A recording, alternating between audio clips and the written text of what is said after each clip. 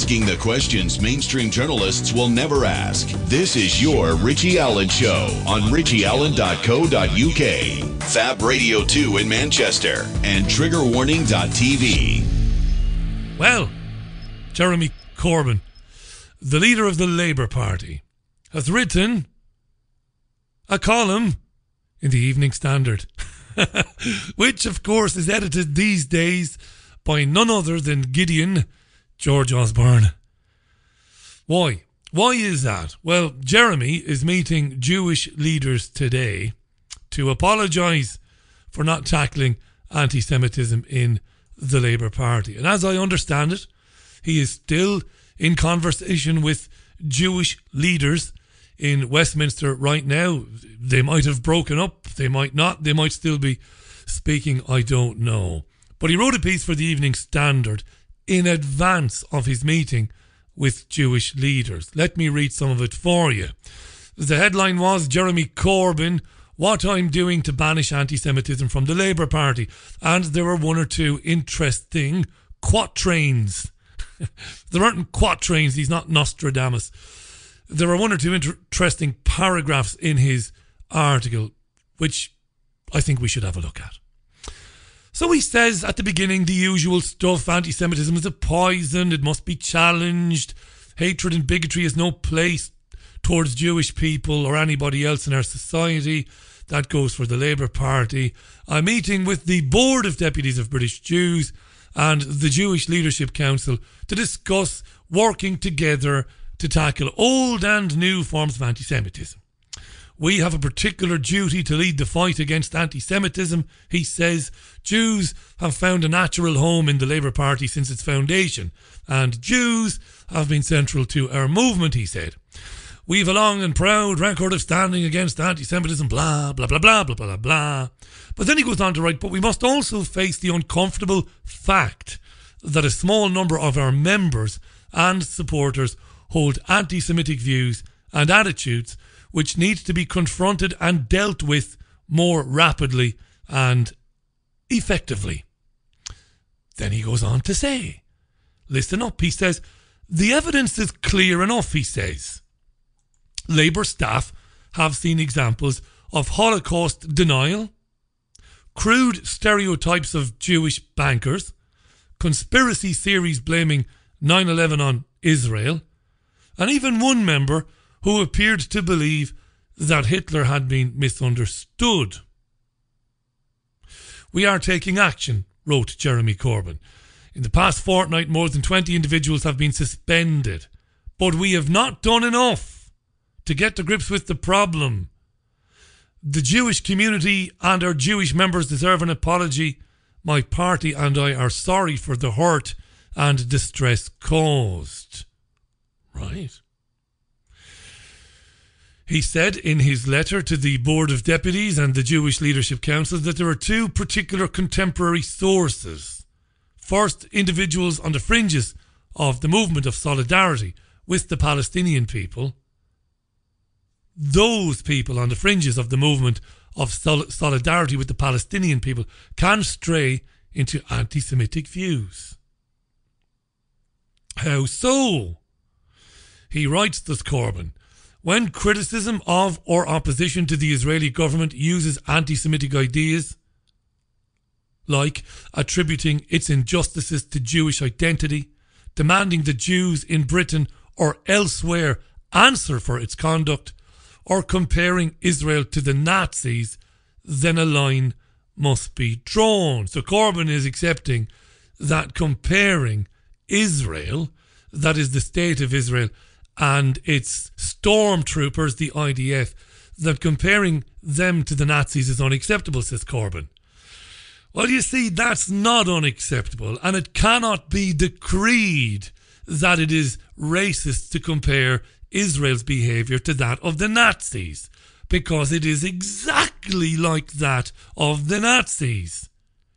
Gaza is the biggest concentration camp the world has ever seen when pregnant women die in childbirth at checkpoints and are laughed at by IDF soldiers. Well, that's a bit SS like, isn't it? So the comparison holds up. So you can't say that people comparing Israel to the Nazis are racist. Jezza, what's happened to Corbyn at all? So he goes on to write Corbyn that anti Zionism isn't in itself anti Semitic, and many Jews themselves are not Zionists, blah, blah, blah. But there are a very few who are drawn to the Palestinian question precisely because it affords an opportunity to express hostility to Jewish people in a respectable setting. So now Corbyn is opening the gate to those who blog about, who write about in newspapers, not so many anymore, to those who make videos on YouTube condemning the brutal, murderous Israeli regime and its treatment of the Palestinian people. Now Corbyn has opened the door to those people being accused of, ah, well, you don't really mean it. Well, you really hate the Jews. And you're just using the Palestinian situation to hide the fact that, well, well, you hate the Jews.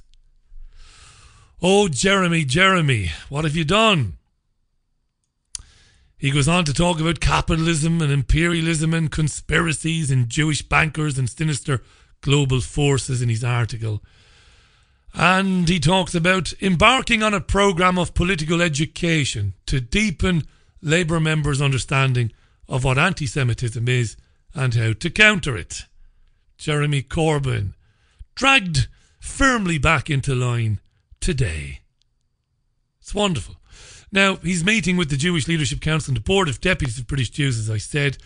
There was a lot of triumphalism on the television today, a lot of triumphalism today. Um, here's Louise Ellman. She's a Labour MP based in Liverpool. She identifies as Jewish. And um, can we hear Louise? We can. This is Louise Ellman speaking with Sky News today, Jewish Labour MP. Well, I'm very pleased to see Jeremy's apology for failing to deal with anti Semitism in the Labour Party. But he has to show he means it by action following that apology. Uh, we've heard good words now.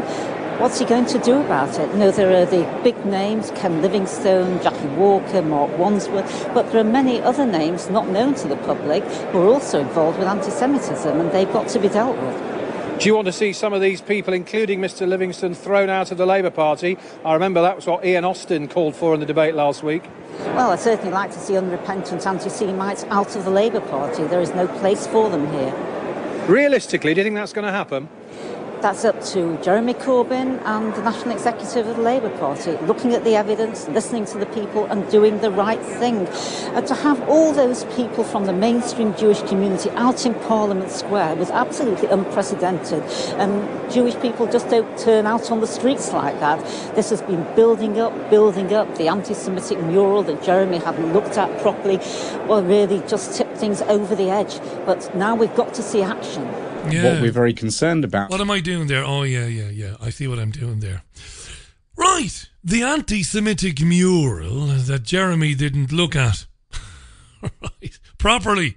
He didn't look at it properly, Jeremy.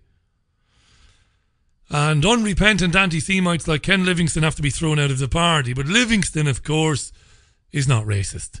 He just said that there was a time. Do you know, I'm actually boring the shite out of myself.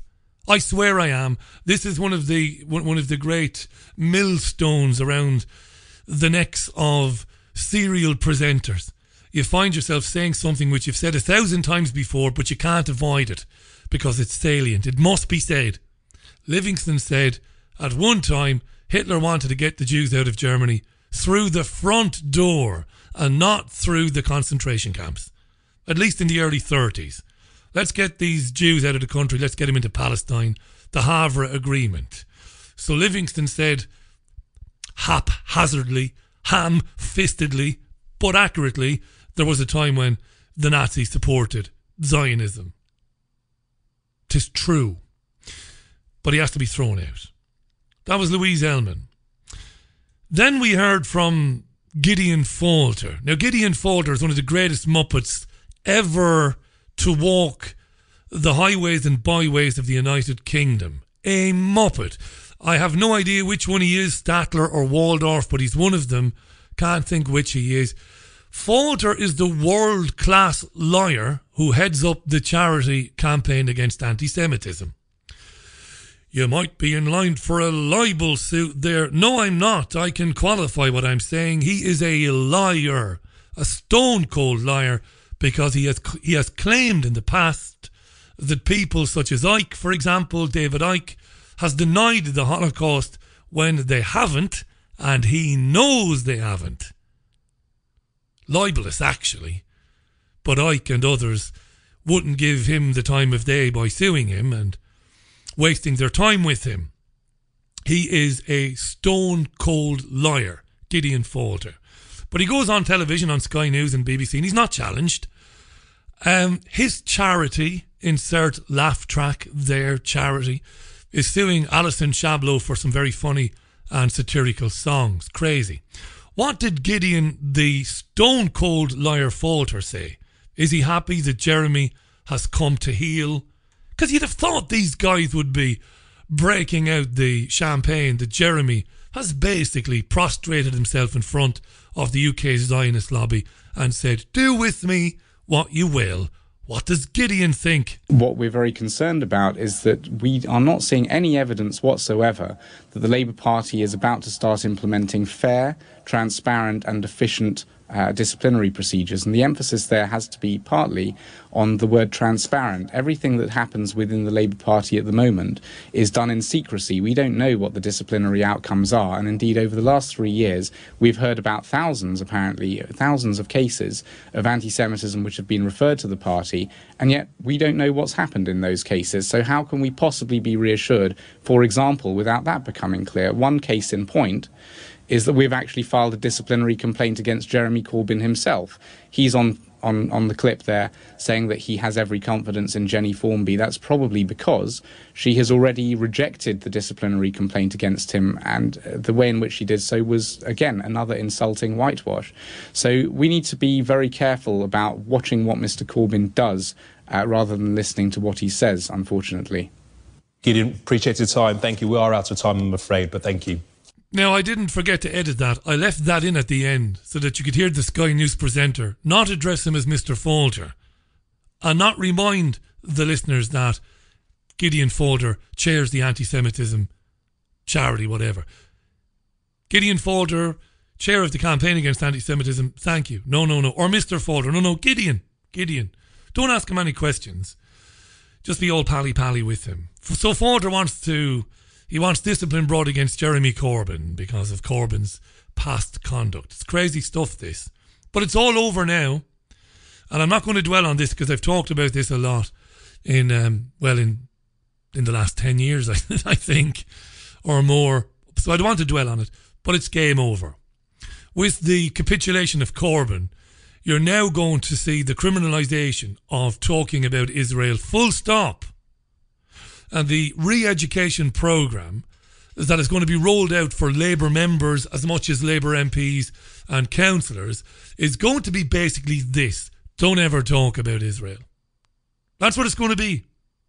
Young men and women coming into the party from uni, a lot of them, some of them, horrified by what's happening in Palestine, will be told, listen, this is one you can't win. So it's best we stay out of it. So we're telling you, just don't get involved. And that's what Corbyn has done today. When Corbyn agrees that comparing Israel and the Nazis is um, is a red line, can't do that anymore. When Corbyn says that some people are joining Palestinian solidarity movements just because they want to have a go at the Jews. How could he write that bollocks? In good conscience. Well, he did. And not only did he write it, but he wrote it for the Evening Standard, which is edited by Gideon George Osborne. Yeah. 20 minutes past the hour. Very quickly, because I think you've got to be honest. Or at least um, you should strive to be honest when you make programs, when you write articles. Sky News today presented a series of reports throughout the day, which was uh, it kills me to say it, but I'm going to say it anyway. First rate journalism, outstanding journalism by Sky News today. It really was. I sent him a tweet and I dropped an, e- an email to their head of news, their head of um, production, to say, well done. brilliant stuff by Sky News today. Sky has been investigating the rollout of universal credit and how it's affected areas where it has been rolled out. Now, for people overseas, they might might not know what universal credit is. There are people in society who absolutely depend on financial support from the state for very good reasons. Not scroungers, not work shy. 99.99% of people getting benefits desperately need them, need help, and deserve help, right? And over the years, they would get maybe two, three, four, maybe five different payments during the course of a month. So they might get unemployment assistance, they might get a payment towards fuel costs, gas and electricity. There are other payments. What the government decided to do was roll all of these payments into one payment and call it un- and call it universal credit. So rather than the person who needs help getting a couple or three different payments a month at different times, which they'd become very accustomed to, all of a sudden they were getting one payment, and the payment had been reduced. So they were getting less, and they were getting it all in the one go. There were warnings coming from every section of society, from charities, from from organizations that work with poor people who say this is a disaster. It's going to destroy people. It's going to see people lose their homes. It's going to plunge people into absolute poverty. They're going to be hungry and they're going to lose their houses. Their state owned affordable housing, the, the, the, the houses they rent. Well, wouldn't you know it? Sky News has done some amazing reporting. Can't believe it. And they have found that yes, rent arrears, evictions, and food bank usage are soaring, soaring even in areas where this universal credit program has been rolled out. And today, every half hour, they were live in places like Oldham, speaking with activists, interviewing people who need and rely on state assistance and are dependent on the state to live effectively and showing what's happening to those people since they began to roll out this new system. It's brilliant. It's absolutely brilliant. It's called, um, Sky have called it the Line 18 investigation into welfare. And it's running on Sky and presumably on Sky News's YouTube channel. You'll find the recording of it at some stage today or tomorrow. Watch it. Fair play to Sky. Round of applause. Proper journalism. We spend enough time here criticising their content and criticising their presenters. What their report shows is the Hunger Games society agenda is moving on at a rate of knots and it is destroying people's lives, but not on a small scale, on a gigantic scale. And I'm sure Tommy Sheridan will have something to say about that when he joins us live from Scotland in a minute. Finally, for the moment, there's lots I want to talk about, but I, am mindful of the fact um, I'm supposed to be ringing Tommy in about seven or eight minutes' time. Facebook has launched a fresh drive to root out race, hate, extremism, and fake news from its platform. This is interesting. It has Facebook has published new guidelines on the standards it expects from people who use it, and it has urged people to quote share responsibly. And Sky News spoke with a woman called Siobhan Cummiskey. She's an Irish woman, and she's Facebook's head of policy for Europe. In fact, she's Facebook's head of policy for Europe, the Middle East, and Africa. And she says we absolutely do have the interests of the community of people who use Facebook at heart. Safety is really important to us, and that's why we are publishing this new set of community standards. This is Siobhan Cummiskey, the head of policy at Facebook, public policy, Europe, Middle East, and Africa. Here's Siobhan Cummiskey. Firstly, we do not allow hate speech on Facebook, and we define but it's that. There, isn't it? We do not allow hate speech on Facebook, and we define it as content that directly attacks people on the basis of, for example, their race, their religion, their nationality. So, what we do is we're investing heavily in both technology and people to address this. Your reputation has, has taken a real battering here. How can you convince your users that actually you have their interests at heart, that you've changed? We absolutely do have the interests of our the community of people who use Facebook at heart. And safety is really important to us. And that's really what today is all about. A key priority for Facebook is the identification and removal of extremist posts, the kind of content that helped radicalise the man who drove a van into a crowd of Muslim worshippers in North London last year. The company says it will also tackle false or fake news, but that won't involve the removal of the majority of those stories. All it seems you're doing is putting them further down your news feed, that doesn't sound like decisive action to tackle them. We have a number of strategies for dealing with false news and misinformation. One of the ways that we tackle it is community education. So it's really important that people are able to recognise what is false news and misinformation. But if it's on your news feed, surely that's confusing. Well, one of the ways that we're tackling it is we're getting to the root of it, and this is really important. We are getting to the root of false news, and we're doing that by tackling the fake accounts that are producing it. For Facebook, there is still an obvious contradiction a desire to tackle fake and problem content set against a business model that's designed to feed users what they want to see. Did you hear that last bit? Because this is very important. It's one of the most important things to understand about Facebook and about Twitter. It's a model that is designed to present people with what they want to see. And that's what it does. And it will continue to present people with information that they want to see because it is a form of control, because it keeps people calm. It keeps people in a state of flux, in a state of inaction or non action. This is the genius of Facebook. This is what the term echo chamber means.